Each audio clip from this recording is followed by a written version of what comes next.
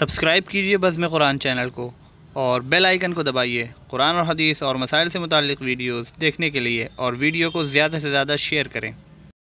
رأيت الذي ينهى عبدا إذا صلى أرأيت إن كان على الهدى أو أمر بالتقوى أرأيت إن كذب وتولى، ألم يعلم بأن الله يرى؟ صدق الله العظيم محترم حضرات، سامعین کرام، حاضرین مسجد. عزیزوں اور بزرگوں، یہ قرآن مقدس کے تیسرے پارے کی مشہور صورت صورت العلق سورہ اقرا سورہ قلم کی پاکیزہ نورانی مبارک آیتیں دعا کیجیے کہ اللہ تعالیٰ ان مقدس آیات کی روشنی میں صحیح اور سچی بات عرض کرنے کی توفیق نصیب فرمائے اور ہم سب کو عمل کرنے کی توفیق عطا فرمائے۔ اس صورت کا نام علق ہے، اس میں تذکرہ ہے۔ کہ انسان کو اللہ نے علق سے پیدا کیا۔ اور علق کہتے ہیں جمے ہوئے خون کو۔ اس صورت کا نام سور اقرا بھی ہے۔ اس لیے کہ اس صورت کا آغاز اور شروعات لفظ اقرا سے ہوتی ہے۔ اقرا کے معنی پڑھ۔ اس صورت کا نام سور قلم بھی ہے۔ اس لیے کہ اس میں تذکرہ ہے۔ الذي علم بالقلم وہ اللہ جس نے قلم کے ذریعے سے علم سکھایا۔ یہ صورت پاک مکیہ ہے۔ ہجرت کا واقعہ پیش آنے سے پہلے نازل ہوئی۔ بلکہ سب سے پہلے قرآن کریم کی یہی مبارک پانچ آیتیں نازل ہوئی تمام علماء کا اتفاق ہے کہ جب قرآن نازل ہونا شروع ہوا تو ہر صورت سے پہلے، ہر آیت سے پہلے چھ ہزار چھ سو چھاچھٹ آیتیں ہیں۔ سب سے پہلے یہی پانچ آیتیں نازل ہوئیں حضرت علی رضی اللہ عنہ فرماتے ہیں کہ سب سے پہلے سور فاتحہ نازل ہوئی۔ حضرت جابر بن عبداللہ رضی اللہ عنہ فرماتے ہیں، سب سے پہلے نازل ہونے والی سورت کا نام سورہ مدثر ہے۔ سب سے پہلے سورہ مدثر نازل ہوئی، تو تین باتیں ہوئیں سب سے پہلے سورہ اقرا کی پانچ آیتیں نازل ہوئی۔ حضرت علی فرماتے ہیں، سورہ فاتحہ پہلے نازل ہوئی۔ حضرت جابر فرماتے ہیں کہ پہلے سورہ مدثر نازل ہوئی۔ تو یہ تین باتیں کیسے ہو سکتی ایک ہی بات صحیح ہو کہ تینوں باتیں صحیح ہیں۔ تینوں لوگوں کے کہنے کا منشا الگ الگ ہے۔ جنہوں نے کہا کہ سب سے پہلے قرآن پاک کی یہ پانچ آیتیں نازل ہوئیں، یہی بات زیادہ صحیح ہے۔ اس سے پہلے کوئی آیت، کوئی صورت نازل نہیں ہوئی۔ حضرت علی رضی اللہ عنہ نے فرمایا، سورہ فاتحہ پہلے نازل ہوئی۔ اس کا مطلب پوری صورت اس سے پہلے کوئی نازل نہیں ہوئی۔ آیتیں نازل ہوئی مگر مکمل صورت سب سے پہلے جو نازل ہوئی وہ سورہ فاتحہ ہے۔ اور اس لیے بھی حضرت علی نے فرمایا کہ سور فاتحہ کاہے کے لیے ہے؟ اللہ سے مانگنا سکھانے کے لیے۔ تعلیم المسئلہ، اللہ سے مانگا جائے تو کیسے مانگا جائے؟ کیا مانگا جائے؟ عبادت کے لیے، اللہ کے تقرب کے لیے۔ سب سے پہلی جو صورت نازل ہوئی ہے، وہ سورہ فاتحہ ہے۔ یہ مطلب نہیں ہے کہ اس سے پہلے یہ پانچ آیتیں نازل ہوئی، یہ تو نازل ہوئی۔ لیکن اللہ سے مانگنا سکھانے کے لیے، دعا کا، کرنے کا طریقہ بتانے کے لیے، نماز میں پڑھنے کے لیے جو سب سے پہلے صورت نازل ہوئی، اس صورت کا نام سورہ فاتحہ ہے۔ چنانچہ واقعہ یہ ہے کہ سورہ فاتحہ ہر نماز میں پڑھی جاتی۔ چاہے فرض ہو، چاہے واجب ہو، چاہے سنت ہو، چاہے مستحب ہو، ہر نماز میں سورہ فاتحہ۔ سورہ فاتحہ کا پڑھنا واجب ہے۔ اگر کوئی آدمی سورہ فاتحہ بھول جائے اور اس کے بعد کوئی دوسری صورت پڑھ لے اور اس کو یاد آ جائے کہ میں نے سورہ فاتحہ نہیں پڑھی تھی، تو نماز میں جو خرابی پیدا ہوئی ہے، وہ خرابی آخر میں سہو کا سجدہ کرنے سے ختم ہو جائے گی۔ اور اگر جان بوجھ کر کے چھوڑے گا تو نماز کو لوٹانا واجب ہوگا۔ سورہ فاتحہ کا پڑھنا واجب اور ہر نماز کے اندر اس کو پڑھا جاتا ہے۔ فاتحہ کے معنی شروع کرنے والی۔ نماز کا افتتاح جس صورت سے ہوتا ہے، وہ سورہ فاتحہ ہے۔ قرآن کا افتتاح جس صورت سے ہوتا ہے، وہ سورہ فاتحہ ہے۔ حضرت جابر ابن عبداللہ نے جو فرمایا کہ پہلے سورہ مدثر نازل ہوئی، ان کے کہنے کا مطلب کیا ہے؟ ان کے کہنے کا مطلب یہ ہے کہ پہلے تو آیتیں نازل ہوئی پانچ سورہ اخراق کی، اور اس کے بعد پھر درمیان میں غیب ہوا۔ یعنی قرآن کا نازل ہونا بند ہو گیا، رک گیا۔ اس کو کہتے فطرت فطرت کے معنی ہیں بیچ میں غیب ہو جانا۔ ایک نبی آیا، اس کے بعد دوسرا نبی آیا۔ دونوں نبیوں کے بیچ میں جو وقت گزرا ہے، اس کو کہتے فطرت۔ قرآن کی ایک آیت نازل ہوئی، بعد میں پھر دوسری نازل ہوئی۔ بیچ میں جو وقت گزرا، اس کو کہتے فطرت فطرت وحی۔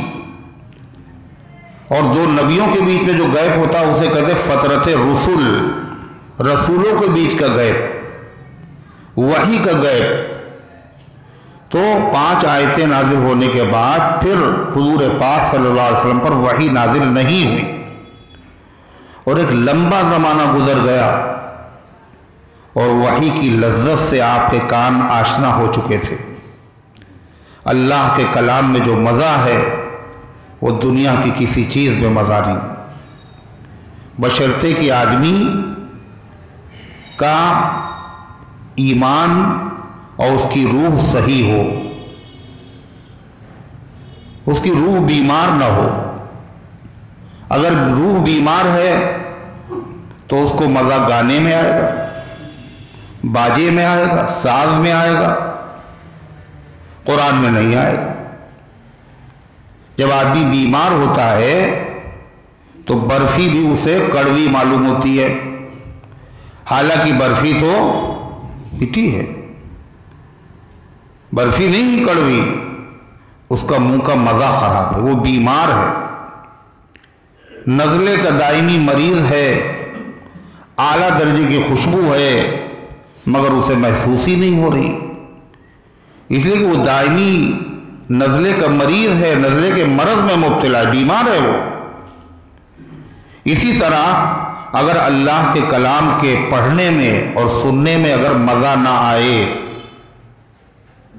دل نہ چاہے، اس کا مطلب یہ ہے آدمی کی روح بیمار ہے، طبیعت ٹھیک نہیں ہے۔ بخار نہیں تو کیا ہوا؟ روح بیمار ہے۔ جسم کی بیماری سے روح کی بیماری زیادہ خطرناک ہوتی ہے۔ روح بیمار ہے۔ ورنہ اللہ کے کلام میں بڑی لذت ہے۔ بڑا مزہ ہے۔ جن کا ایمان کامل ہوتا ہے، ان کو قرآن پڑھنے میں بہت مزہ آتا ہے۔ صحابہ ایسے ہی تھے۔ ایک صحابی حاضر ہوئے، کتنے دن میں قرآن ختم کرتے؟ حضور روزانہ پڑھتے کہ جی نہیں۔ پندرہ دن میں۔ نہیں، حضور، یہ تو دیر ہو جائے گی۔ کہ سات دن میں۔ اے اللہ کے رسول، یہ تو بہت دیر ہو جائے گی۔ میرا تو اور پڑھنے کا جی چاہتا، آپ نے کہا تین دن میں۔ اللہ کے نبی سے زیادہ پڑھنے کی اجازت مانگ رہے ہیں۔ اتنا مزہ ہے۔ اے رات تو مختصر ہو گئی۔ حضرت فاروق اعظم رضی اللہ تعالیٰ نے صدیق اکبر رضی اللہ عنہ کی وفات کے بعد ان کی بیوہ سے نکاح کیا۔ عدت گزرنے کے بعد۔ کہا، اب یہ بتاؤ، حضرت ابو بکر صدیق کیا کرتے تھے؟ رات میں۔ کہ رات میں وہ نماز پڑھتے تھے، نماز میں تحجد میں قرآن پڑھتے تھے۔ اور جب تحجد کا وقت ختم ہوتا تھا، تو کہتے آہ رات اتنی رات اتنی مختصر ہو گئی۔ تو جب وہ آہ کرتے تھے، تو پورے گھر میں ایسی خوشبو پھیل جاتی تھی جیسے کلیجی کو آگ پر بھونا جا رہا ہو۔ جیسے کلیجی کلیجی کی بھوننے کی خوشبو ہوتی ہے۔ وہ آہ کرتے تھے اور ان کا کلیجہ جلتا تھا۔ تو حضرت عمر نے اپنے آپ کو مخاطب کرتے ہوئے کہا، بہت تجھے فکر رہتی ہے ابو بکر کی نقل کرنے کی۔ بڑی فکر تجھے رہتی ہے ابو بکر کی نقل کرنے کی۔ بتائیے آہ کہاں سے لائے گا؟ حضرت فاطمہ زہرا کہتی تھی عبادت کے بعد رات تو اتنی مختصر ہو گئی قاعدے سے اپنے مالک سے مناجات بھی نہیں کرنے پائے۔ کیسی لذت ہے قرآن میں؟ اللہ کے نبی صلی اللہ علیہ وسلم نے دو صحابہ سے کہا کہ دیکھیے، ہم لوگ یہاں پڑاؤ ڈالے ہوئے ہیں، رات کا وقت ہے، دشمن اچانک حملہ کر سکتا ہے۔ اس لیے تمہارا کام یہ ہے کہ تم اس پہاڑ کی چوٹی پہ چلے جاؤ اور نگرانی کرو۔ اگر خطرہ محسوس کرو تو ہم کو آگاہ کر دینا۔ وہ دونوں بزرگ گئے۔ انہوں نے کہا، بھائی، یہ تو ٹھیک نہیں ہے، ہم بھی جاگیں اور تم بھی جاگو۔ ایسا کہ ایک آدمی سو جائے اور ایک آدمی جاگے، پھر وہ سو جائے اور دوسرا آدمی جاگے۔ کا تجویز تو آپ کی بہت اچھی ہے۔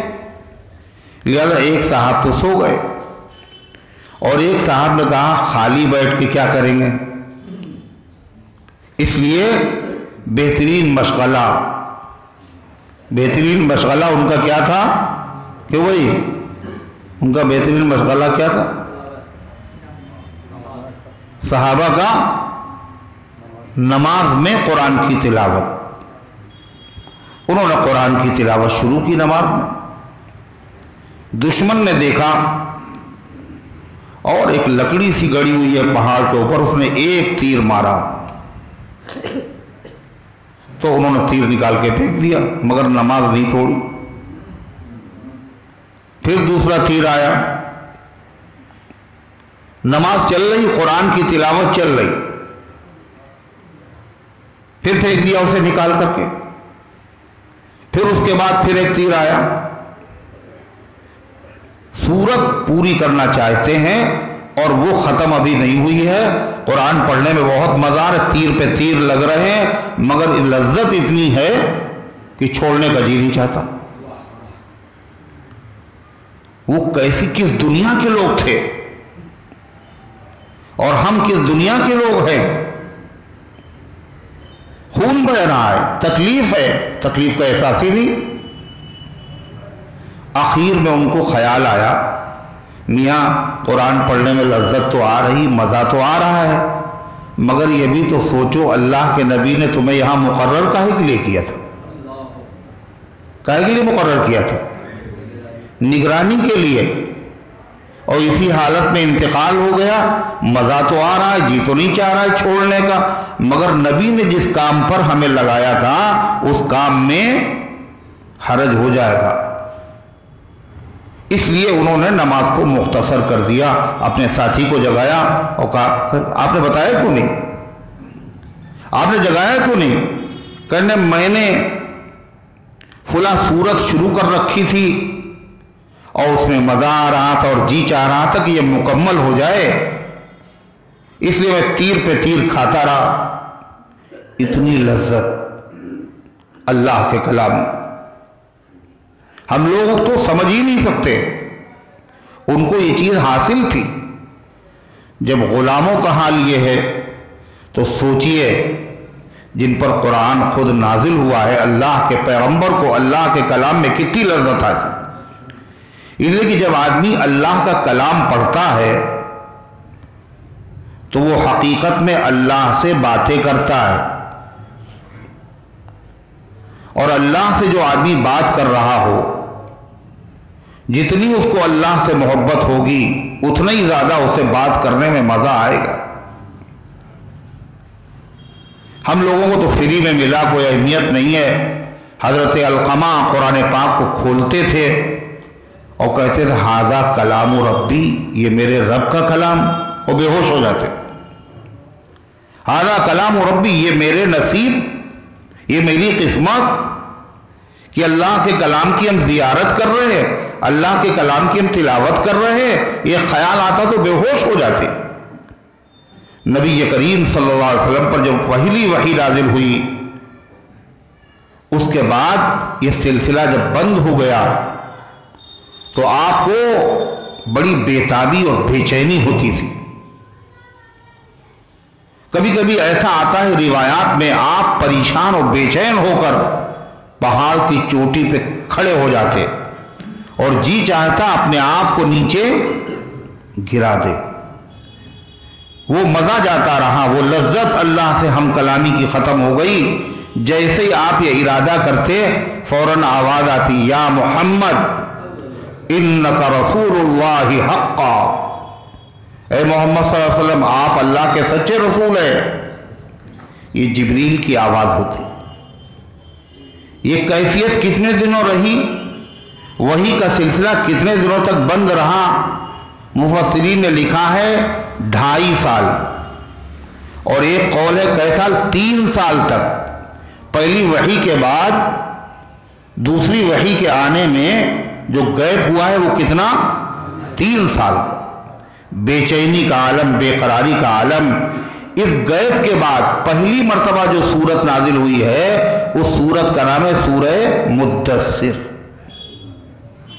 اور اس کے بعد پھر گیپ نہیں ہوا، چلتا رہا سلسلہ۔ اس لیے جابر ابن عبداللہ فرماتے ہیں، پہلی سورت جو نازل ہوئی وہ کون سی ہے؟ سورہ مدثر مطلب وہی کے رکنے کے بعد جب دوبارہ وہی کے نزول کا سلسلہ شروع ہوا، تو پہلی نازل ہونے والی سورت کا نام مدثر ہے۔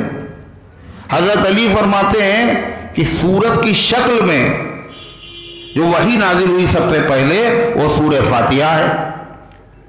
عام صحابہ و مفسرین کا بیان ہے کہ سب سے پہلے اللہ کی رحمت جو اس امت پر نازل ہوئی اور اللہ کی نعمت جو اس امت کو حاصل ہوئی، وہ پانچ آیتیں ہیں جو سورہ اقرا کی آیتیں ہیں۔ سب سے پہلے یہی نبی کریم علیہ السلام کے قلب اطہر پر نازل ہوئی۔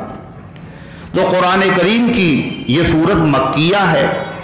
ہجرت کے واقعے سے پہلے، بلکہ سب سے پہلی جو آیتیں نازل ہوئی، وہ یہی مبارک آیتیں اس صورت مبارکہ میں انیس آیتیں ہیں۔ اور دو سو اسی حرف ہے کتنے؟ دو سو اسی حرف۔ دو سو اسی حرف ہونے کا مطلب اللہ کے جس بندے کو، اللہ کی جس بندی کو اس صورت کی تلاوت کے سننے کا شرف حاصل ہو جائے تو اس کو کتنی نیکیاں ملیں گی؟ دو سو اسی۔ اور اگر اللہ کی توفیق سے اس کی تلاوت کرنے کا شرف حاصل ہو جائے، پڑھنے کا موقع مل جائے، تو دو ہزار آٹھ سو نیکیاں۔ کتنی؟ دو ہزار آٹھ سو نیکیاں ملیں گی۔ یہ نیکیاں عام دنوں میں ملیں گی۔ اگر برکت کے دن ہوں اگر عظمت کا مہینہ ہو تو یہ نیکیاں گھٹیں گی نہیں بلکہ اور بڑھیں گی۔ یہ جو اس وقت آپ تلاوت اس کی سن رہے ہیں، یہ مہینہ بھی عظمت والا مہینہ ہے۔ کون سا ہے مہینہ یہ؟ رجب۔ رجب کا مہینہ عظمت والا ہے۔ برکت والا، یہ ان چار مہینوں میں سے ہے۔ جن کو خدا تعالیٰ نے قرآن کریم میں محترم، معظم، مبارک بتایا ہے۔ اور وہ چار مہینوں کے نام تو سب کو یاد ہے ماشاءاللہ، ہے نا؟ سب کو یاد ہے جس کو جس کو یاد ہے ہاتھ اٹھاؤ۔ پوچھیں گے بھی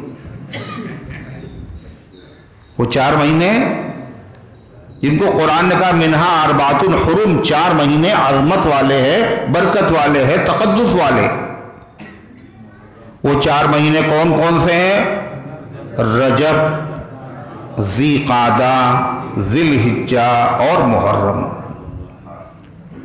تو ان میں سے رجب رجب کے معنی ہیں معظم، قابل تعظیم۔ اس مہینے کی بڑی عزت اور عظمت کی جاتی تھی زمانہ جاہلیت میں بھی۔ عرب لوگ اس کا بڑا احترام کرتے تھے۔ ان چار مہینوں میں قتل و قتال نہیں ہوتا تھا۔ آپس میں لڑتے نہیں تھے وہ یہ حرمت والا مہینہ ہے، یہ عظمت والا مہینہ ہے۔ تو یہ برکت والا مہینہ اس لیے ہے، عظمت والا اللہ نے قرآن میں بتایا۔ اور اس لیے بھی یہ بابرکت مہینہ ہے۔ اس مہینے میں برکت کی دعا مانگی ہے جناب محمد الرسول اللہ صلی اللہ علیہ وسلم نے۔ اللہ کے نبی نے دعا مانگی۔ اللہ مبارک لنا فی رجبا و شعبان۔ اے اللہ، ہمیں رجب میں برکت عطا فرما۔ ہمیں شعبان میں برکت دے دیجیے یہ نبی کی دعا ہے۔ نبی کی دعا قبول ہوگی نہیں ہوگی؟ نبی کی دعا تو قبول ہوگی۔ نبی کی مستجاب دعا ہے۔ مقبول دعا۔ رجب میں آپ نے برکت کی دعائیں مانگی ہیں تو رجب برکت والا ہے، شعبان برکت والا ہے۔ اور کیا کہا؟ بلغنا رمضان رمضان تک ہماری زندگی کو دراز کر دیجیے، اب فاصلہ زیادہ باقی نہیں بچا۔ رجب ہے، آج ہے بیس تاریخ۔ اس کے بعد پھر شعبان اور پھر رمضان۔ بلغنا رمضان، اے اللہ یہاں تک تو آ گئے، اب رمضان تک ہمیں پہنچا دیے تو اللہ کے نبی نے برکت کی دعا مانگی، اس لیے با برکت ہے۔ اور اس مہینے میں برکت کی دعا مانگنا یہ سنت بھی ہے۔ اللہ کے نبی نے مانگ کے ایک مرتبہ بتایا کہ ہم نے تو مانگی ہے، مگر تم لوگ بھی مانگا کرو۔ جب رجب کا چاند دیکھو تو یہ دعا پڑھ لیا کرو۔ اللہ مبارک لنا فی رجب و شعبان و بلغنا رمضان۔ کس نے کس نے پڑھی بھائی یہ دعا؟ چاند دیکھ کے پڑھی تھی؟ چاند دیکھ کے تو نہیں پڑھی۔ بعض لوگوں نے پڑھی ہوگی، بعد میں پڑھی ہوگی۔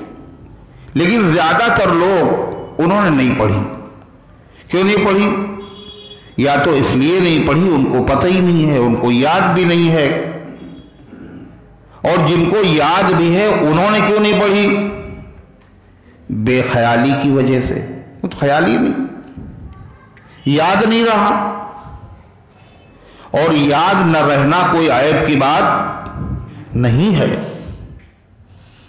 اس لیے کہ یاد نہ رہنا یہ تو اوپر سے چلا آ رہا ہے، سب سے اوپر سے۔ ہمارے جو باپ ہیں، تمام انسانوں کے باپ، حضرت آدم علیہ السلام، ان کو بھی یاد نہیں رہا تھا۔ ہے نا؟ اللہ نے ان سے کیا کہا تھا؟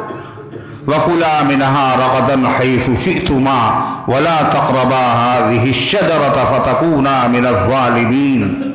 اے آدم، اے حیوہ جنت میں رہو۔ جہاں سے چاہو جیتا چاہو، خوب کھاؤ۔ کوئی پابندی نہیں، مگر اس درخت کے قریب نہ جانا۔ کھانا منع تھا، مگر احتیاطاً کہا جاتا، میاں قریب بھی نہ جائیے گا۔ مگر ہوا وہی جس سے منع کیا تھا۔ حضرت آدم علیہ السلام نے اس کو کھا لیا۔ کیوں کھایا؟ اللہ خود کہہ رہا ہے۔ فنسی آدم ولم نجد لہو آزما آدم بھول گئے۔ جو ہم نے ان سے کہا تھا، آدم بھول گئے۔ ان کے اندر میں نے پختگی نہیں پائی، مضبوطی نہیں پائی۔ حضرت آدم جب بھول گئے، تو ظاہر بات ہے، جو باپ کے اثرات ہوتے ہیں، وہ تو اولاد میں آتی باپ بھولے تھے تو ان کی اولاد بھی بھول جاتی ہے، ہم لوگ بھی بھول جاتے ہیں۔ اور جو کبھی نہیں بھولتا، جو کبھی نہیں بھولتا، وہ اکیلے خدا ہے۔ خدا کے بعد سب سے افضل جناب محمد رسول اللہ صلی اللہ علیہ وسلم ہے مگر آپ بھی تو بھولے تھے۔ نہیں بھولے تھے۔ آپ بھی بھولے۔ چار رکعت والی نماز دو رکعت پہ آپ نے سلام پھیر دیا۔ ایک صحابی نے لقمہ دیا، ان کا نام تھا حضرت ذولیدین اقصرت الصلاۃ ام نسیت یا رسول اللہ، حضور یہ بتائیے، کیا آپ بھول گئے ہیں یا نماز کم ہو گئی؟ کیا نماز کی رکعتیں کم کر دی گئی ہیں یا آپ بھول گئے؟ آپ نے فرما کلو ذالک لم یکن، نہ یہ ہوا، نہ وہ ہوا۔ تو انہوں نے کہا بعض ذالک قد کان حضور کچھ تو ہوا ہے۔ یا تو کم ہوئی ہے یا پھر آپ بھولے۔ آپ نے دوسرے صحابہ سے پوچھا، انہوں نے بتایا، تو آپ نے دو رکعت اور پڑھی اور اس کے بعد پھر سجدہ صحب آپ نے کر لیا، نماز مکمل ہو گئی۔ بیچ میں بات چیت بھی ہوئی۔ اور پھر بھی آپ نے دو رکعت پڑھ لی۔ اب یہ حدیث اگر کوئی آدمی کوئی اہل حدیث، یہ حدیث اگر پڑھ لے، اس میں تو صحابہ سے نبی کی بات بھی ہوئی، بھولے بھی، اور پھر دو رکعت اور پڑھ لی انہوں نے، سجدہ سو کر لیا، اس کا مطلب نماز میں بول بھی سکتے وہ بھی بات چیت شروع کر دے۔ یہ حدیث میں تو یہ آج بھی لکھا ہوا ہے۔ لیکن یہ کون بتائے گا کہ یہ حدیث کس زمانے کی ہے؟ یہ امام و حنیفہ بتائیں گے۔ کہ پہلے زمانے میں نماز کے بیچ میں بات کرنے کی اجازت تھی۔ سلام کرنے کی اجازت تھی۔ رکاتوں کی تعداد پوچھنے کی اجازت تھی۔ بعد میں جو آدمی آتا تھا رکاتوں کو پوچھتا تھا، اپنے پڑوسی سے، کون سی چل رہی وہ بتا بھی دیتے تھے۔ کوئی مسئلہ ہی نہیں تھا۔ یہ شروع ابتدائی اسلام کی بات ہے۔ سلام کرتے، سلام کا جواب دیا جاتا تھا۔ پھر قرآن نے کہا وقوم للہ قانتین نماز میں خاموش کھڑے رہا کرو۔ بس، اب گفتگو کا سلسلہ بند ہو گیا۔ اب نہ سلام ہے، نہ سلام کا جواب ہے، نہ چھینکنے والے کا جواب ہے۔ اب نماز خالص اللہ کے ذکر کا نام۔ بعض صحابہ کو اس کا علم نہیں تھا کہ بات کرنے کی اجازت اب ختم ہو گئی۔ ان صحابہ میں عبداللہ ابن مسعود بھی تھے۔ یہ گئے تھے کہاں؟ ملک حبش، ہجرت کر کے۔ اور بیچ میں یہ نیا حکم آیا۔ جب یہ واپس آئے، نماز ہو رہی تھی، انہوں نے کہا، السلام علیکم یا رسول اللہ۔ تو سارے صحابہ جو تھے، وہ ان کو گھور کے دیکھنے لگے۔ کہ یہ کیا بات ہے؟ میں نے کیا کیا جو تم گھور کے دیکھ رہے ہو؟ مگر حضور نے جواب نہیں دیا۔ اب جب جواب نہیں دیا تو بڑے پریشان اندر سے کیوں؟ عشق است ہزار بدگمانی۔ جب کسی کو کسی سے عشق ہوتا ہے اور محبت ہوتی ہے تو پھر کیا ہوتا ہے؟ اگر بات چیت نہ ہو تو ہزار باتیں ذہن کے اندر آتی ہیں۔ ہو سکتا ہے یہ بات ہو، اس لیے خفا ہو گئے ہو سکتا ہے اس لیے خفا ہوا ہو۔ ہو سکتا ہے یہ بات ناگوار گزری ہو سکتا ہے یہ بات ناگوار گزری ہو اب پریشان ہو۔ حضور نے سلام کا جواب نہیں، معمولی بات ہے۔ نماز سے فراغت کے بعد آپ نے فرمایا، اب جو ہے نماز میں بات کرنے کی اجازت نہیں ہے۔ نماز میں صرف اللہ کا ذکر ہوگا۔ تو بھولنا جو ہے، یہ انسان کی خصوصیت ہے۔ اللہ کے نبی بھولے، پھر آپ قرآن بھی بھول گئے ہوں گے۔ جب بھولے تو قرآن بھی بھول گئے ہوں گے۔ اللہ کہتا نہیں سنو قرو کا فلا تنسا۔ ہم آپ کو ایسا قرآن پڑھائیں گے، پھر آپ کبھی نہیں بھولیں گے۔ ایسی چیز بھولے آپ جس میں صحابہ آپ کو بتا سکیں۔ ایسی ضروری چیز جو کسی کو پتہ ہی نہیں ہو، نبی جانے اور اللہ جانے، وہ چیز آپ نہیں بھولے۔ یہ اللہ کی طرف سے انتظام تھا۔ غرضے کہ نبی کریم علیہ السلام بھولے۔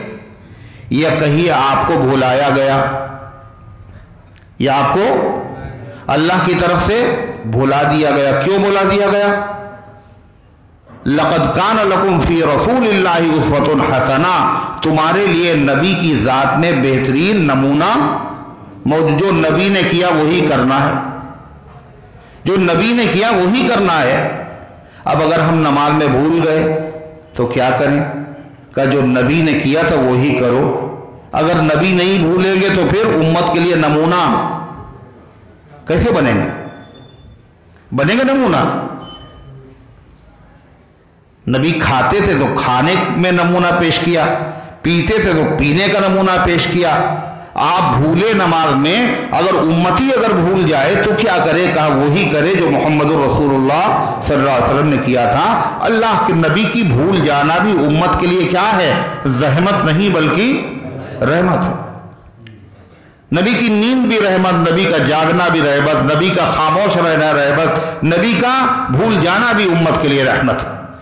تو غرضے کی نبی کریم صلی اللہ تعالی علیہ وسلم بھی بھول گئے۔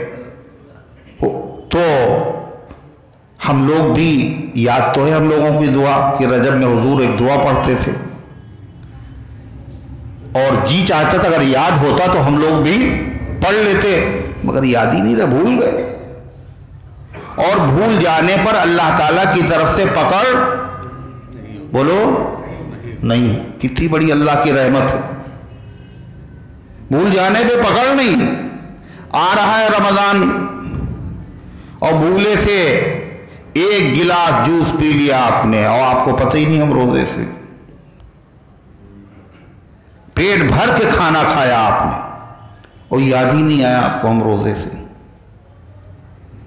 پھر کیا ہوگا؟ روزہ ہوگا نہیں ہوگا؟ کہ روزہ بھی ہو جائے گا، گناہ بھی نہیں ہوگا۔ لیکن واقعی بھولا ہو۔ یہ نہیں لوگوں کے سامنے بتائیں ہم تو بھول گئے تھے۔ اس لیے روزہ رکھا کس کے لیے جاتا؟ اللہ کے لیے۔ اور روزے میں خاص بات یہ ہے کہ واقعی اللہ کے لیے کیسا رکھا جاتا ہے؟ آدمی بالکل اکیلا ہوتا ہے، کمرے میں بند، کوئی دیکھنے والا نہیں۔ سخت پیاس لگی ہوئی ہے۔ فریج کے اندر مشروبات رکھیں طرح طرح کے، نہ کوئی دیکھنے والا، نہ ٹوکنے والا، نہ کوئی شکایت کرنے والا، مگر مجال ہے جو ایک قطرہ حلق کے نیچے اتر جائے۔ کیوں؟ کوئی نہیں دیکھ رہا، اللہ تو دیکھ رہا، اللہ کے لیے رکھا۔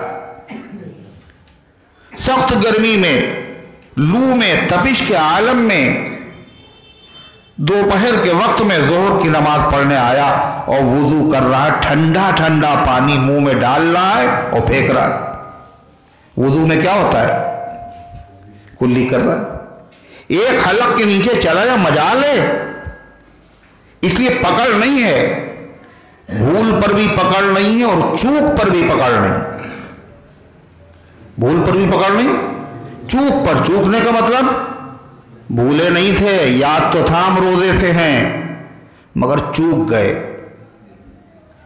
یعنی ہم نے کلی کی ارادہ نہیں تھا حلق کے نیچے پانی اتارنے کا، اتفاقاً ایک قطرہ چلا گیا۔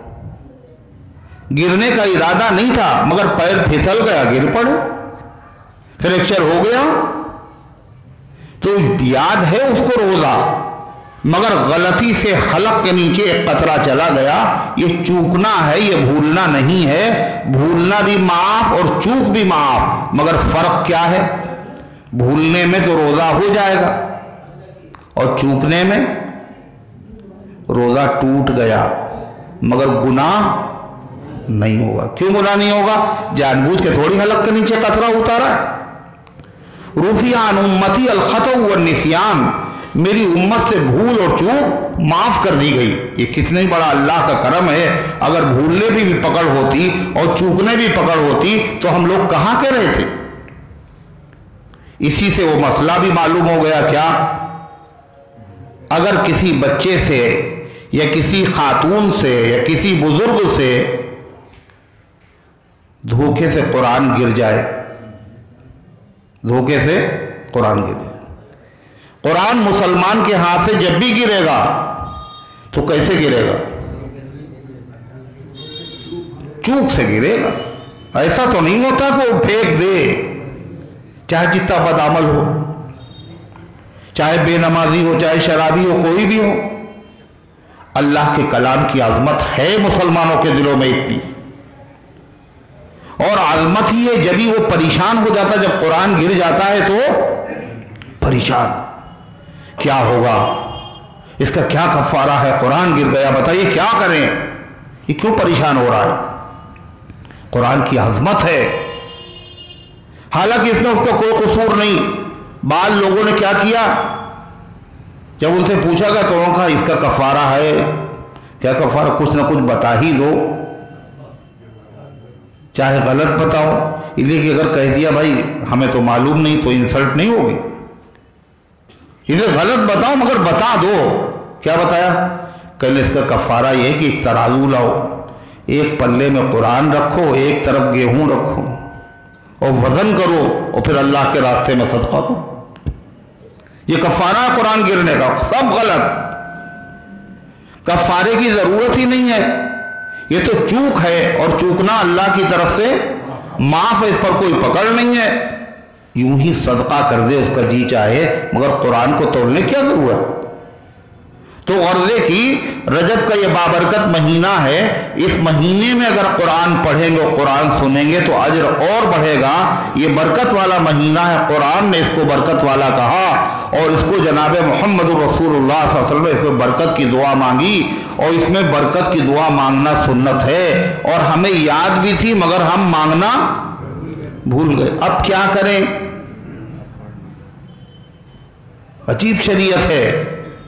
بڑی آسان، بڑی خوبصورت، بڑی حسین کا کوئی بات نہیں ہے۔ بھول گئے تھے؟ اچھا اب بیس بیس رجب ہو گئی۔ اب یاد آیا؟ کہ آپ سے پڑھ لو آپ سے پڑھ لو غافل ابھی ہے فرصت توبہ، نہ دیر کر، وہ بھی گرا نہیں، جو گرا پھر سنبھل گیا۔ ارے، بیس تاریخ گزر گئی۔ بیس تاریخ گزر گئی۔ کتنے دن بچے؟ کوئی مسئلہ نہیں ہے۔ اب بھی اگر تم پڑھ لو گے، جب بھی ثواب سے محروم نہیں رہو۔ اللہ وزقر رب کا ادا نصیب اپنے مالک کو یاد کر لیا کرو جب تم بھول جایا کرو۔ جب تمہیں یاد آیا تو تب یاد کر لیا کرو۔ منام عن سلاطن او نسیحا فل یوسلیہ ادا ذکر اللہ کے نبی صلی اللہ علیہ وسلم فرماتے ہیں، جو بھول، جو سو گیا۔ اور یا سو گیا اور آنکھ نہیں کھلی۔ نماز کا وقت نکل گیا۔ یا نماز سویا نہیں، جاگ رہا تھا۔ بالکل ذہن سے نکل گیا کہ نماز نہیں پڑھ رہا ہے۔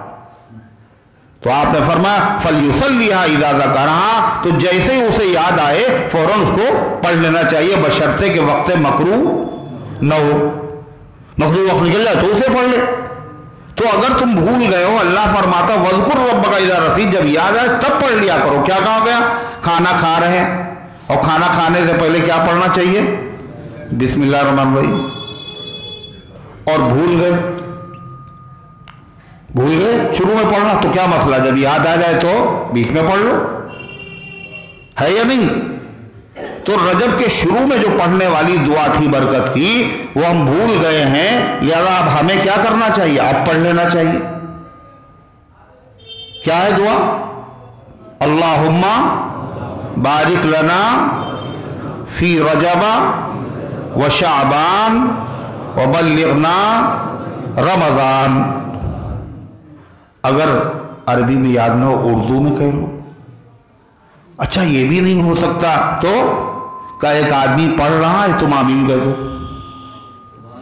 ایک آدمی نے آمین کہا اور تم خالی آمین کر دو، جب بھی دعا پڑھنے والوں میں تمہیں شامل کر لیا جائے گا۔ کتنی خوبصورت ہے شریعت، کتنی حسین ہے شریعت۔ تو رجب کا مہینہ یہ برکت والا ہے۔ اس برکت والے مہینے میں اگر آپ قرآن پڑھیں گے تو اس کا ثواب اور بڑھے گا۔ اگر سنیں گے تو قرآن اور ثواب اور بڑھے گا، اگر سیکھیں گے معنی تو اس کا ثواب اور بڑھے گا۔ اور برکت والے مہینے میں اگر گناہ کریں گے تو تو کیا ہوگا بھائی؟ گناہ کا وبال نہیں بڑھے گا۔ گناہ کا وبال بھی تو بڑھے گا۔ ہم نے نیک اگر ہم نے یہ سورت پڑھ لی تو کتنی نیکیاں ملیں گی؟ اگر پڑھ لی، دو ہزار آٹھ سو۔ اس مہینے میں پڑھی تو نیکیاں اور بڑھ جائیں گی۔ روزانہ پڑھیں گے تو کتنی نیکیاں ہو گئیں۔ کہ نیکیاں جمع کرتے رہو، کیوں؟ گناہ بہت زیادہ ہو گئے ارے، ہوئے نہیں ہوئے؟ گناہ بہت زیادہ ہو چکے ہیں، لہذا نیکیاں جمع کرو۔ اللہ کے رسول صلی اللہ علیہ وسلم نے حضرت انس ابن مالک رضی اللہ عنہ سے فرمایا تھا، انس، دیکھو، ہر وقت تمہاری زبان اللہ کے ذکر سے تر رہنا چاہیے۔ جب موقع ملے سبحان اللہ الحمد للہ ولا الہ الا اللہ، واللہ اکبر درو شریف، ایک چیز دوسرا، آپ نے فرمایا، وَاتْبَعِ الْحَسَنَةَ السَّيِّئَةَ۔ اور اگر تم سے کبھی کوئی غلطی ہو جائے تو اللہ سے معافی مانگو۔ اور ساتھ ساتھ یہ ہے، اس کے فوراً بعد کوئی نیک نیک کام کر لو۔ نیک کام اگر کر لو گے تو وہ نیک کام کیا کرے گا؟ اس برائی کے اثر کو مٹا دے گا۔ تو ہم لوگوں کو اور تیسری چیز کیا فرما وہ خالق الناس بخلق حسن اور لوگوں سے اچھے اخلاق کے ساتھ ملا کرو تو گناہ بہت ہو گئے۔ نہیں ہے ہم میں سے کون کہہ سکتا ہم گنہگار نہیں انبیاء معصوم ہوتے۔ گناہ بہت ہو گئے۔ اور معافی کا سامان نہیں ہے۔ اسی لیے گناہوں کا اثر دنیا میں ظاہر ہوا۔ کیا ظاہر ہوا؟ مصیبت آئی نہیں آئی؟ اس وقت دو مصیبتیں بہت بڑی بڑی ہیں۔ ایک مصیبت ہے ملکی، جو انڈیا میں لوگ رہ رہے ہیں، ان کے لیے مصیبت۔ ایک مصیبت ہے آفاقی، عالمگیر، پوری دنیا کی مصیبت۔ یہ دونوں مصیبتیں گناہوں کا نتیجہ ہے بدامالیوں کا نتیجہ ہیں۔ ملکی مصیبت کیا؟ ظالم جابر حکمرانوں کے ظالمانہ اور جابرانہ قانون۔ پورے ملک کے باشندے پریشان، تین مہینے ہو رہے۔ ٹس سے مس نہیں۔ اور بڑی مصیبت جو آفاقی عالمگیر مصیبت ہے، پوری دنیا میں جس کا اثر ہے، وہ مصیبت کون سی ہے؟ جس کو نام دیا گیا کرونا وائرس۔ کیسی مصیبت ہے؟ ہزاروں لوگ موت کے منہ میں جا چکے، اور ہزاروں لوگ ابھی مبتلا ہیں۔ اور دنیا کے تمام ممالک خوف زدہ ہیں تھرا رہے ہیں۔ ہوائی جہاز پہ سواری کرنے والے کم۔ عمرے کا عمرہ عمرے پہ پابندی۔ ویزے پہ پابندی۔ پوری دنیا متاثر ہے۔ بازاروں میں سناٹا، شہروں میں ایسا سناٹا، اتنے بڑے بڑے شہر اور اتنے بڑے بڑے ملک جیسے کرفیو لگا ہو۔ خوف کا عالم، ہراس کا عالم۔ یہ مصیبت ہے اور آفاقی مصیبت ہے، عالمگیر پوری دنیا میں مصیبت ہے۔ یہ خدا دکھا رہا ہے کیا؟ کہ جب آدمی مجرم ہوتا، جرم کرتا ہے تو جرم کرنے والا بڑا چالاک ہوتا ہے ہے نا؟ مجرم زیادہ تر اپنی چالاکی سے، سزا سے اپنے آپ کو بچا لیتے ہیں۔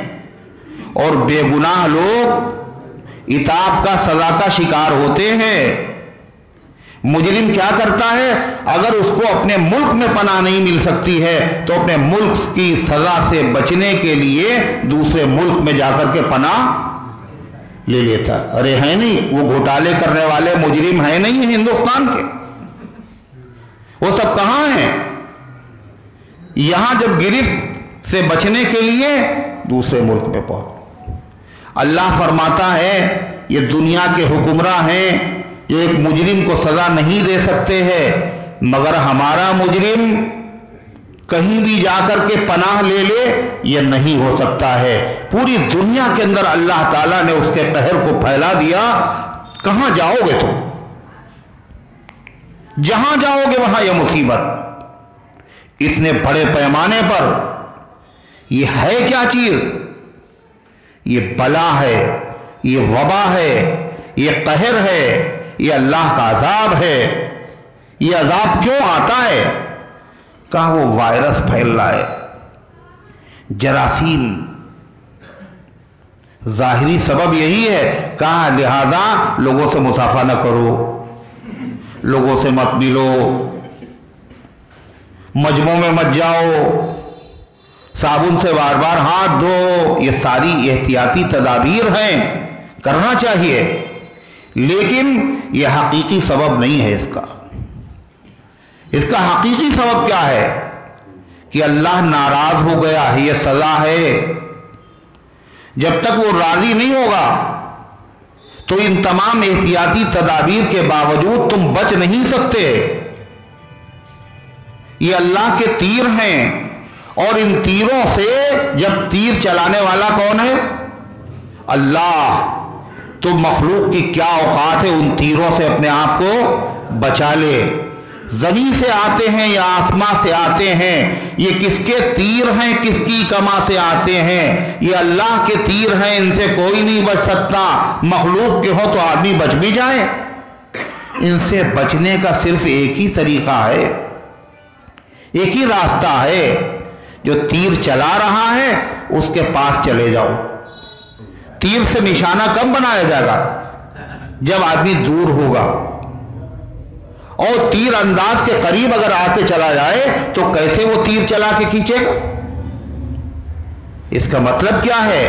یہ اللہ تعالیٰ کی طرف سے نشانہ بنایا جا رہا ہے اور کال لال لہم یا لال لہم یرجعون، تاکہ وہ بندے جو دور چلے گئے نافرمانیاں کرتے کرتے یخفف اللہ بھی عبادہ، اللہ اس کے ذریعے سے اپنے بندوں کو ڈرا رہا ہے کہ اب سے واپس آ جاؤ، تمہارے واپسی کا وقت ہے۔ کیسے راضی ہوگا اللہ؟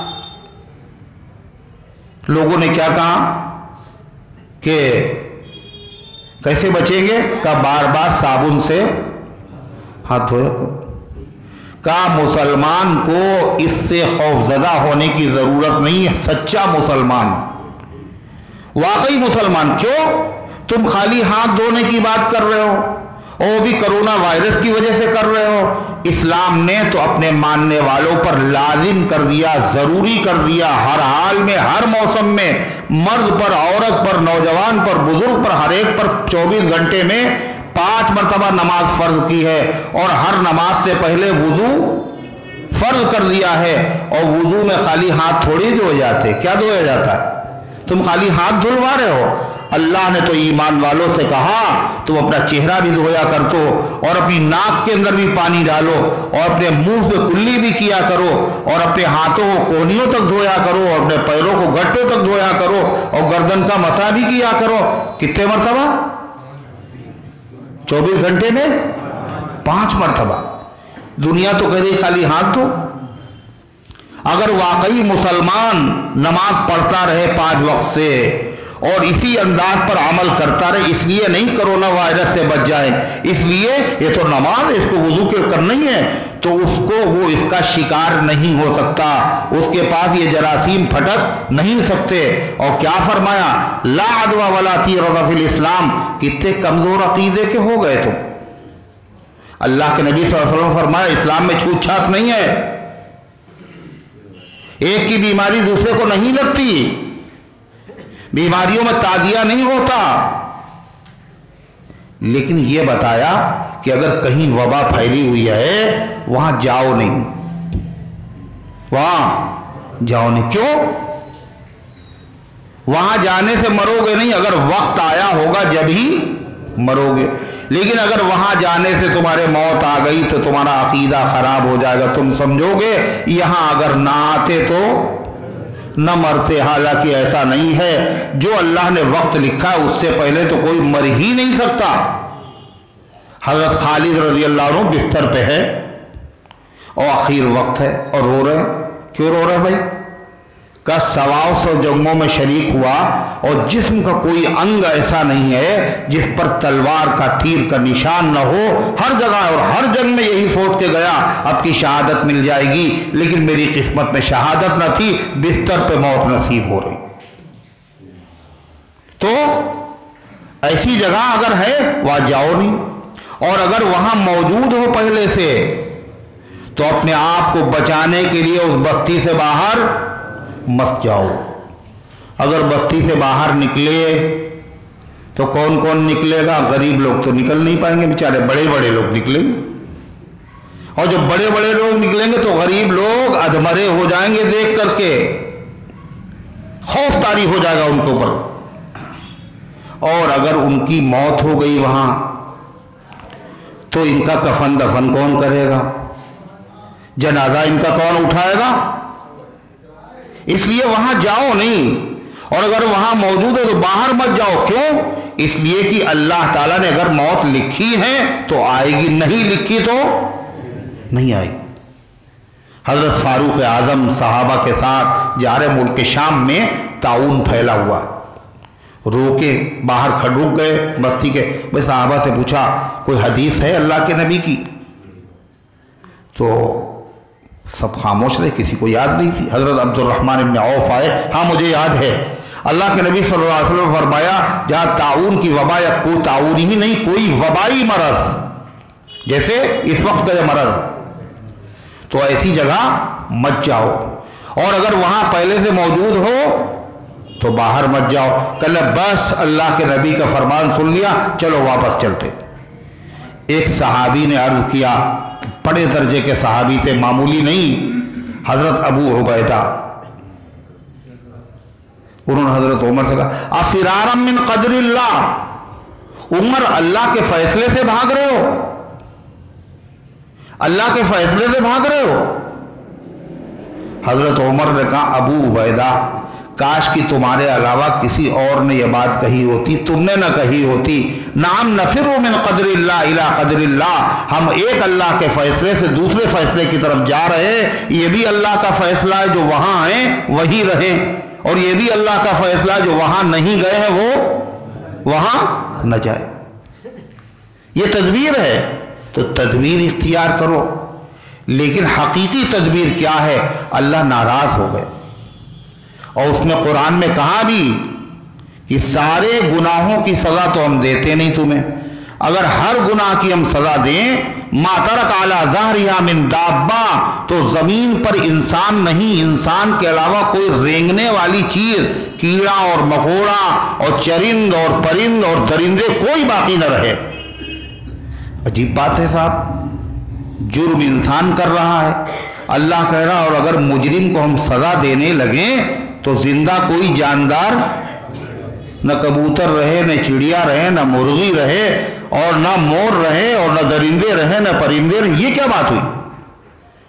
کا سمجھے نہیں، یہ ساری مخلوقات، حیوانات، جمادات، یہ چاند اور یہ سورج اور یہ دنیا کا نظام ہے کس کے لیے؟ انسان کے لیے۔ جب انسان ہی نہیں رہے گا تو ان چیزوں کی ضرورت بھی نہیں رہے گی۔ اس لیے اللہ دنیا میں اگر ہر جرم کی سزا دیتا تو کوئی زندہ باقی نہیں رہتا۔ اللہ ہر جرم کی سزا نہیں دیتا۔ کس کی دیتا ہے؟ فرمایا وَيَعْفُوً کثیر بہت سے گناہوں کو تو معاف کرتا ہے، درگزر کرتا ہے، پکڑ نہیں کرتا۔ بعض گناہوں کی سزا دیتا ہے، اور سزا کیا دیا؟ کا بادل باغ ماں عاملو تاکہ ہم ان کو مزہ چکھائیں ان کے کچھ گناہوں کا۔ اللہ کرم مزہ چکھائیں گناہوں کا۔ یعنی تمام گناہوں پہ سزا نہیں دیتے، کچھ گناہوں پہ سزا دیتے، وہ بھی پوری سزا نہیں دیتے ہیں۔ خالی ہلکا سا مزہ چکھاتے ہیں۔ اور مزہ چکھانے کا مطلب آپ سمجھتے ہیں کہ نمک چکھنا کسے کہتے ہیں؟ بتائیے، پورا کھانا، پورا پیٹ بھر کے کھانے کو کہتے ہیں؟ یہ ذرا سا مزہ چکھا رہا ہے خدا۔ یہ مزہ بھی کیوں چکھا رہا ہے؟ مقصد کیا؟ دشمنی نہیں ہے۔ لعلہم یرجعون، تاکہ میرے بندے میری طرف واپس آ جائیں اور مجھے راضی کر لیں، مجھ کو منا لے اور مجھ کو خوش کر لے اور مجھ سے معافی مانگ لیں ہم ان سے تمام مصیبتوں کو ختم کر دیں۔ تو اللہ تعالیٰ سے معافی کون مانگے گا بتائیے؟ کون مانگے گا؟ کافر مانگے گا؟ مشرق مانگے گا؟ یہودی مانگے؟ گا نہیں، مسلمان مسلمان۔ مسلمان اگر نبی کی شریعت پر عامل ہو جائے تو یہ سارے عالم کے لیے رحمت بن جاتا ہے۔ اور اگر مسلمان نبی کے طریقے سے باغی ہو جائے تو یہ سب کے لیے مصیبت بھی بن جاتا ہے۔ اگر خالی مسلمان سدھر جائے تو کیا ہوگا؟ یہ بلائی اور یہ وبائیں کیا ہوں گی؟ ختم ہو جائیں گی۔ کیسے ختم ہوں گی؟ کیسے ختم ہوں گی؟ کہا معافی مانگو اللہ سے۔ کیسے معافی مانگے کیا پڑھیں گے؟ کیا پڑھیں گے؟ استغفر اللہ استغفر اللہ استغفر اللہ چلتے، پھرتے، اٹھتے، بیٹھتے، ہر وقت، ہر لمحہ، ہر جب موقع ملے تو کیا پڑھیں گے؟ استغفر اللہ دوسری چیز، صدقہ کرو، صدقہ۔ صدقہ کیا کرتا ہے؟ بلاؤں کو دور کرتا ہے۔ یہ بلا ہے نہیں ہے۔ ارے ہے بلا نہیں ہے۔ پھر کیا چاہتے یہ دور ہو۔ لہذا ہر آدمی صدقہ کرے۔ اپنی حیثیت کے اعتبار سے۔ صدقہ بلاؤں کو ٹال دیتا ہے۔ صدقہ تقدیر کے فیصلے کو بدل دیتا ہے۔ صدقہ کرے۔ اور تیسرا عمل کیا بتایا؟ کہ وہ دعا پڑھو جو محمد رسول اللہ صلی اللہ علیہ وسلم نے سکھا دی تھی پہلے ہی۔ بہت پہلے۔ کیا؟ بسم اللہ الذی لا يضر ما اسمه شیء فی الارض ولا فی السماء وهو السمیع العلیم۔ تین مرتبہ۔ جو آدمی تین مرتبہ صبح پڑھ لے، تو شام تک اللہ تعالیٰ کی طرف سے اس کی حفاظت ہوگی۔ اس کو کیڑے، مکوڑے، وبائیں، بلائیں، کوئی مخلوق اللہ تعالیٰ کی اس کو نقصان نہیں پہنچا سکتی۔ اللہ کے کلام میں اتنا پاور ہے، اتنی طاقت ہے۔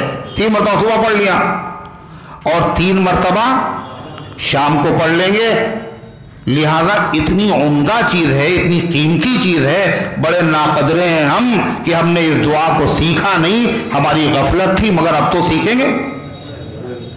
اور ہر ماں اپنے بچے کو زبانی رٹائے اور اپنی نگرانی میں پڑھوائے کہ بیٹا پڑھو، بسم اللہ الذی لا يضر ما اسمه شیء فی الارض ولا فی السماء وهو السمیع العلیم۔ تین مرتبہ ہر بچے سے پڑھوائے۔ اگر آپ پڑھوائیں گے تو آپ کو بھی یاد ہو جائے گا، آپ کے بچے کو بھی یاد ہو جائے گا۔ اور یہ سبق خالی آج کل کرونا وائرس پھیلا ہوا آج کل کا نہیں ہے۔ روزانہ پوری زندگی کا معمول بنائیے۔ جب صبح ہوا تو تین مرتبہ پڑھ لیا فجر کے بعد، اور تین مرتبہ سونے سے پہلے پڑھ لیا، مغرب کے بعد پڑھ لیا، عشاء کے بعد پڑھ لیا۔ کیسا عمل ہے پتہ ہے آپ کو؟ فالج، جنون پاگل پن اندھا پن ایڈز، کینسر، ہر بیماری سے حفاظت۔ اتنی قیمتی دعا ہی ہے۔ حضرت عثمان رضی اللہ عنہ کے بیٹے ہیں، ان کا نام ہے حضرت ابان ابان ابن عثمان رضی اللہ عنہ۔ انہوں نے اپنے باپ سے یہ حدیث سنی تھی، حضرت عثمان غنی سے۔ تو حدیث انہوں نے سنائی، جب سنائی کہ جو آدمی بسم اللہ الذی لا یضر ما اسمه شیء فی الارض ولا فی السماء وهو السمیع العلیم پڑھ لے، تو کیا ہوگا؟ اللہ اس کی حفاظت کرے گا۔ تو ان کے شاگردوں نے دیکھا کہ یہ ہمیں تو یہ نسخہ بتا رہے ہیں اور خود ان کے اوپر فالج کا اٹیک ہو چکا۔ خود ان کے اوپر فالج کا اٹیک ہو چکا۔ اور وہ یہ دعا بتا رہے تھے لوگوں کو۔ تو کسی نے کہا تو نہیں، آپ کے اوپر تو فالج کا اٹیک ہے، آپ ہمیں دوا بتا رہے ہو۔ مگر اللہ والے تو نگاہیں دیکھ کے سمجھ جاتے ہیں۔ فرمانے لگے، حیرت مت کرو، شک مت کرو۔ اللہ کے نبی کا فرمان سچا ہے۔ اللہ کا وعدہ سچا ہے۔ اس دعا میں یہ پاور ہے، مجھے تم دیکھ رہے ہو، جس دن یہ میرے ساتھ ہوا، اس دن میں یہ دعا پڑھنا بھول گیا تھا، اس لیے میرے ساتھ ایسا۔ ہو اتنی قیمتی دعا، اللہ۔ خزانہ گھر میں ہے موجود، پھر بھی آہ مفلس ہیں۔ بھٹکتے پھر رہے چار سوئے وائے نادانی۔ تو یہ دعا پڑھیں گے بھائی، کیا دعا ہے؟ بسم اللہ الذی لا يذر ما اسمه شیء فی الارض ولا فی السماء وهو السمیع العلیم۔ پڑھ لی۔ اس کے علاوہ گھر سے جب نکلے تو ایک مرتبہ پڑھ کے پھوک لی۔ بچوں سے بھی کہہ دیا، جب گھر سے نکلو تو پڑھ کے پھوکو اور گھر سے جب نکلے تو کیا پڑھا؟ بسم اللہ توکلت علی اللہ، لا حول ولا قوت الا باللہ۔ حدیث میں آتا ہے، جب کوئی مسلمان یہ دعا پڑھ کے گھر سے باہر نکلتا ہے، تو فرشتہ کہتا، کفیتا، ہدیتا، وقیتا۔ تمہاری کفایت کی گئی، تمہیں ہدایت دی گئی، اور تمہیں ہر چیز سے، ہر مضر چیز سے بچا لیا گیا۔ اب تم کس کی حفاظت میں ہو؟ اللہ کی حفاظت اور اللہ کی جب بندہ حفاظت میں ہو تو کسی کی ماں نے دودھ نہیں پلایا ہے اور کسی کے منہ میں بتیس دانت نہیں ہے جو اس بچے کو اغوا کر لے کڈنیپ کر لے اور کوئی نقصان پہنچا سکے۔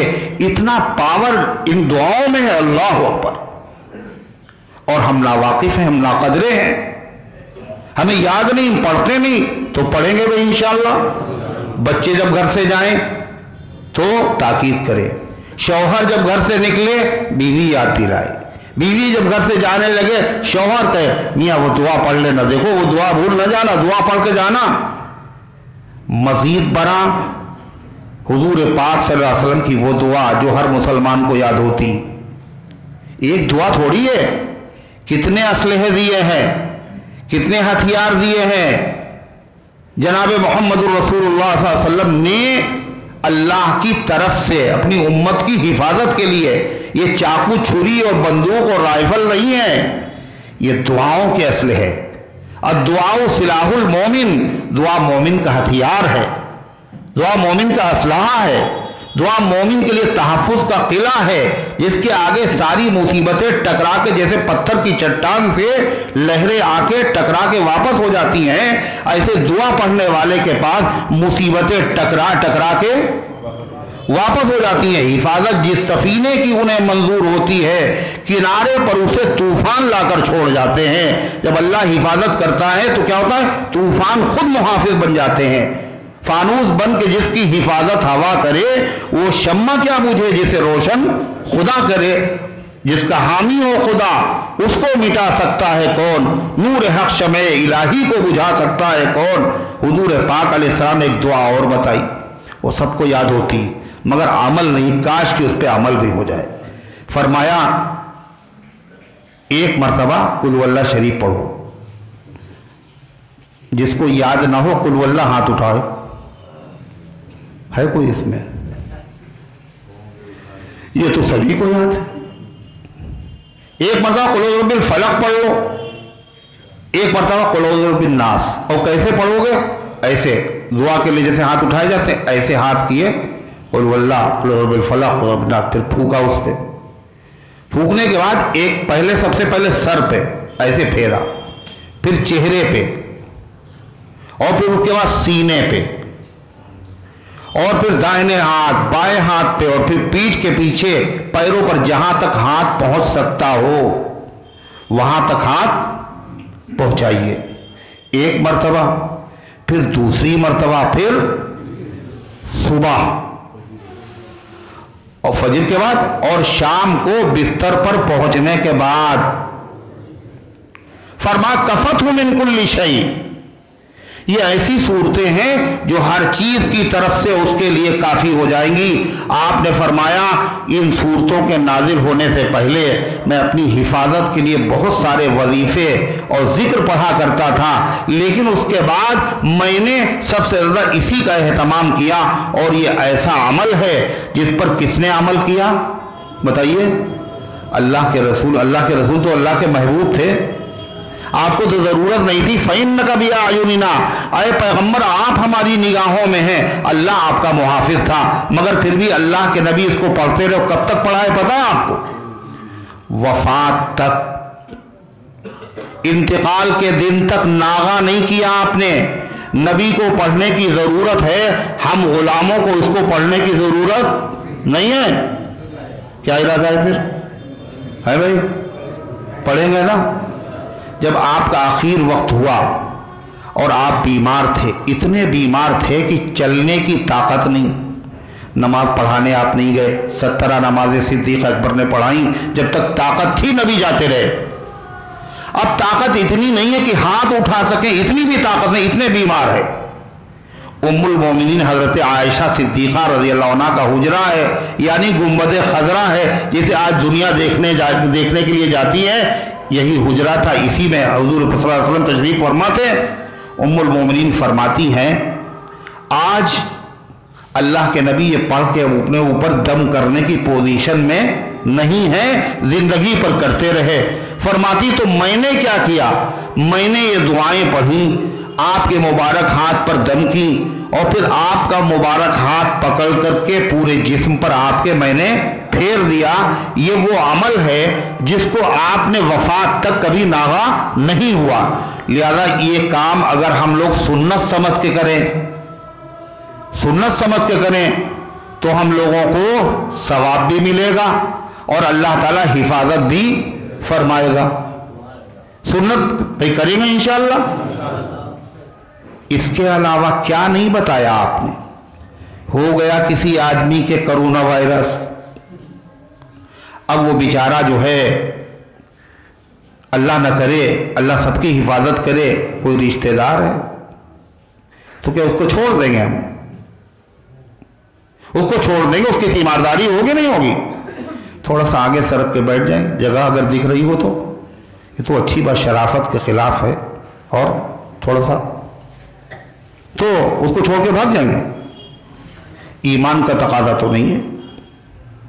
اس کی تیمارداری کرو۔ عیادت نہ بھی وہ رشتہ دار ہو مسلمان ہے دیکھنے جاؤ، بیمار ہے وہ، مستحق اس کا۔ دہشت کا عالم یہ ہے، انقلاب اخبار میں چھپا کہ ایک اسپتال میں ایک بچی پہنچی اور اس نے کہا کہ میں بخار میں مبتلا ہوں اور آپ مجھے دیکھ لیجیے اور ایک مہینہ ہو گیا، میں چھٹی پہ آئی ہوں۔ اور میں چائنا میں پڑھتی ہوں۔ اتنا سننا تھا، سارے سارے ڈاکٹر چھوڑ کے بھاگ کھڑے۔ دہشت کا یہ عالم۔ اللہ کے رسول صلی اللہ علیہ وسلم نے کیا فرمایا؟ کیوں دہشت، کیوں کیوں بھاگ رہے ہیں؟ کہیں یہ ہمیں وائرس نہ لگ جائے، کہیں ہم مر نہ جائیں۔ آپ نے فرمایا، کوئی بھی خطرناک کے خطرناک بیماری ہو، مرض ہو کسی کا، اس کو مت چھوڑو، اس کی عیادت بھی کرو۔ احتیاطی تدابیر جو تم کر سکتے ہو، ان کو تو کرو، لیکن بے یارو مددگار مت چھوڑو اور اس اندیشے میں مبتلا نہ ہو، یہ بیماری ہمیں لگ جائے گی۔ آپ نے وہ مبارک کلمات سکھا دیے۔ اگر تم نے یہ کلمات پڑھ لیے تو یہ بیماری تمہارے چھو کے نہیں گزرے گی۔ کیا کلمات سکھایا آپ نے؟ الحمد للہ آفانی ممت طلاق بھی وفضلنی علا کثیر ممن خلق تفضیلا۔ یہ ایک مرتبہ جو آدمی پڑھ لے گا تو کیا ہوگا؟ وہ وائرس، وہ بیماری اس آدمی کے نہیں لگے گی اور کیا چاہیے ہم کو بتائیے؟ اس سے بھی قیمتی کوئی چیز ہو سکتی جو صرف مسلمانوں کے پاس ہے۔ اللہ ہم سب کو قدر کرنے کی توفیق عطا فرمائے۔ یہ دعائیں ہمیں یاد بھی کرنا ہے اور اپنے بچوں کو بھی یاد کرانا ہے۔ اب دوسری چیز آ گئی، یہ تو تھا بیمار کو دیکھنے گئے۔ اگر خدا نہ خواستہ خود ہی بیمار ہے، اب کیا کریں؟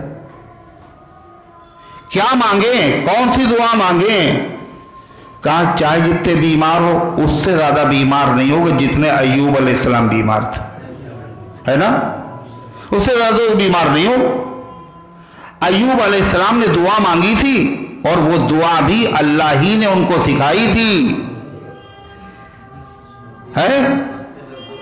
تمہیں نے درد دیا ہے تمہیں دوا دینا۔ اللہ ایسا غفور الرحیم ہے کہ مرض بھی دیتا ہے اور دوائیں بھی پیدا کرتا ہے اور دعائیں بھی سکھاتا ہے اور کلمات بھی سکھاتا ہے۔ آدم علیہ السلام جب نادم شرمندہ ہوئے درخت کھانے کے بعد، جسم کے پتے جب جو ان کے جسم کے لباس اتر گئے، تو درخت کے پتے سے اپنے جسم چھپانے لگے۔ جس درخت کے پاس گئے، وہ اونچا ہو گیا۔ جس درخت کے پاس گئے، وہ اونچا ہو گیا۔ وہ تین انجیر کی قسم۔ انجیر کا جو درخت تھا، اس نے اپنے پتے دے دیے۔ قرآن کہتا ہے فتفقہ یخفانی علیہما من ورق الجنہ تو آدم اور حوا اپنے جسم پر جنت کے درخت کے پتے چپکانے لگے، تاکہ ہمارا سطر کھلا نہ رہے حیا کی وجہ سے۔ مر شرمندہ ہے۔ قصور ہو گیا اللہ سے۔ اللہ کو راضی کیسے کرے؟ منائے کیسے؟ اللہ تعالیٰ مہربان ہوا۔ اور اللہ نے آدم اور حوا کو کلمات سکھائے۔ قرآن کہتا ہے فتح آدم ربی بے کلیمات سیکھ لیے آدم علیہ السلام نے اللہ تعالیٰ سے کچھ کلمے۔ فتابہ علیہ جب وہ کلمے آدم علیہ السلام نے کہے اور حوا نے کہے، تو اللہ اپنی رحمت کے ساتھ متوجہ ہو گیا اور اللہ نے ان کو معاف کر دیا اور زمین میں ان کو اپنا نائب اور اپنا خلیفہ بنا کر کے بھیج دیا۔ وہ کلمات کیا تھے؟ اللہ قرآن میں بتا رہا کالا ان دونوں نے کہا، آدم اور حوا نے۔ ربنا ظلمنا انفسنا وان لم تغفر لنا وترحمنا لنكونن من الخاسرین یہ دعا قرآن میں کیوں ہے؟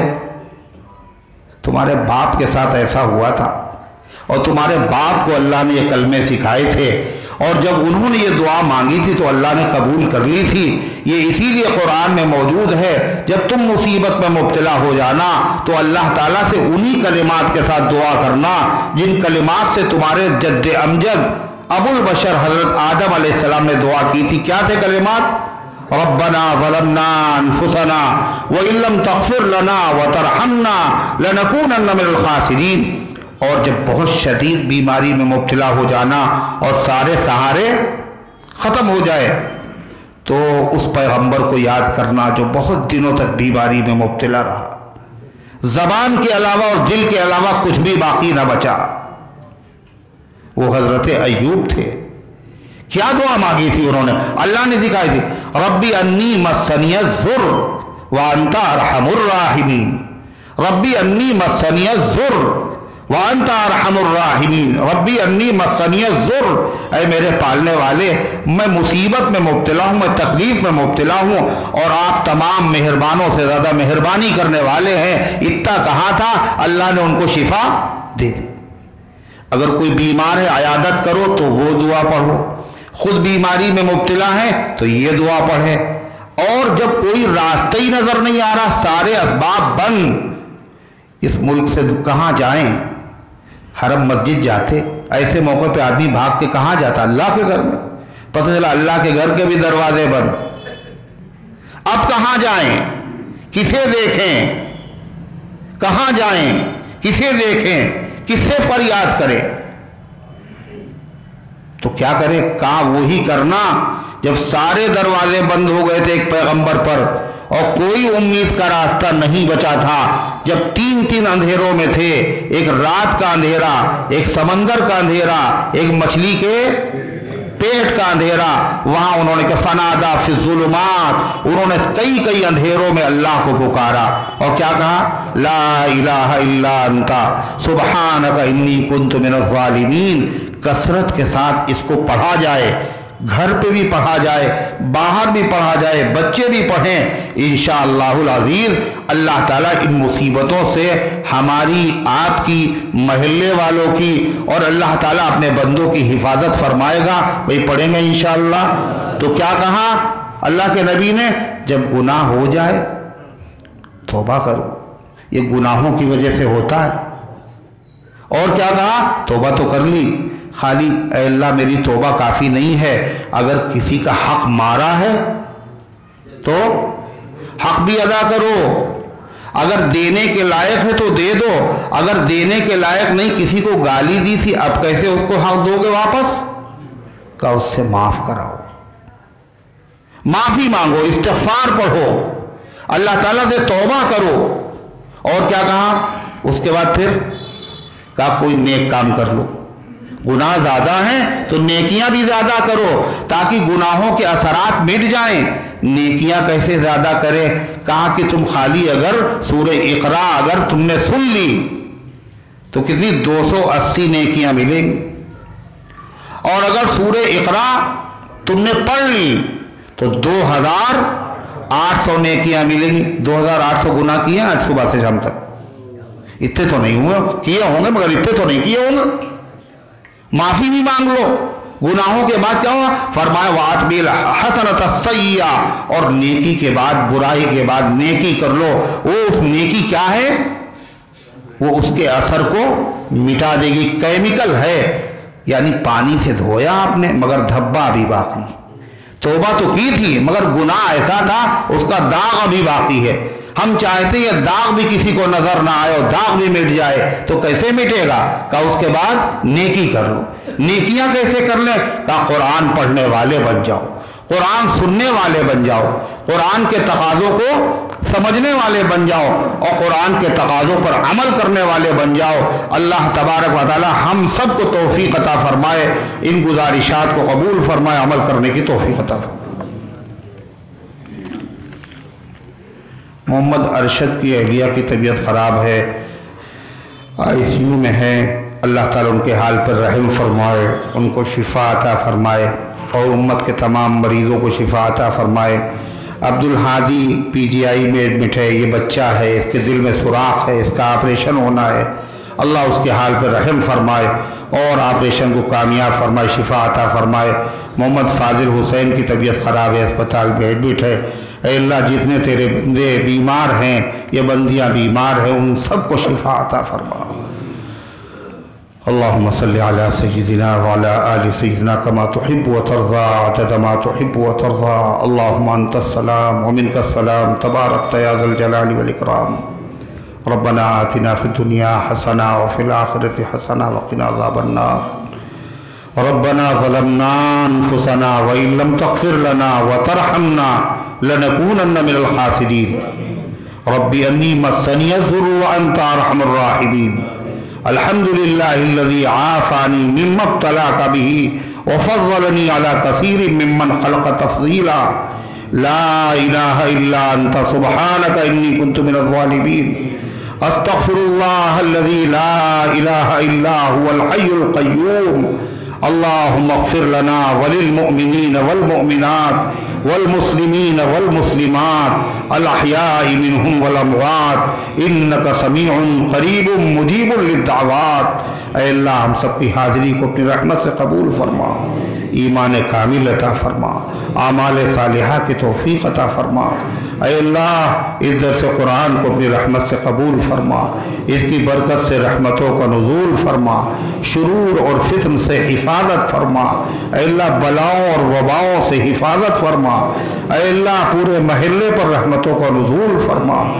اے اللہ، تو نے جو ہدایات سننے اور سنانے کی توفیق دی، عمل کی بھی توفیق عطا فرما دے۔ اے اللہ، اس کی برکت سے بیماروں کو شفا عطا فرما حاجت مندوں کی حاجتوں کو پورا فرما۔ غلط مقدمات میں ماخوذ لوگوں کو عزت کے ساتھ بری فرما دے۔